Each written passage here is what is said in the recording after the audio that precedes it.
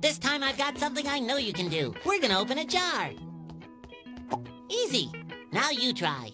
First, get a jar. Patrick, that's a pickle. Yes. You need a jar.